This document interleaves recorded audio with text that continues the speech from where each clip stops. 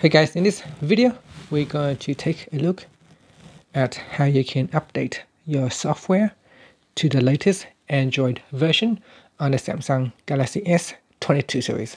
First tap on the home button to go back to the home screen. And on the home screen, swipe down at the top and tap on the settings icon. In settings, go down and tap on battery and device care.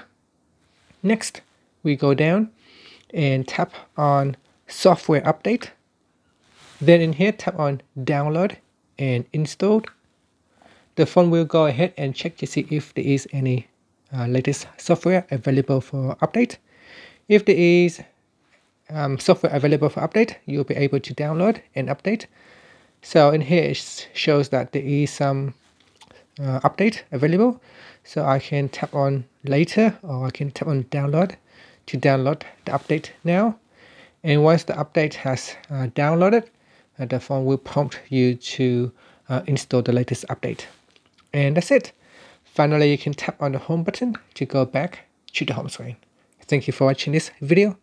Please subscribe to my channel for more videos.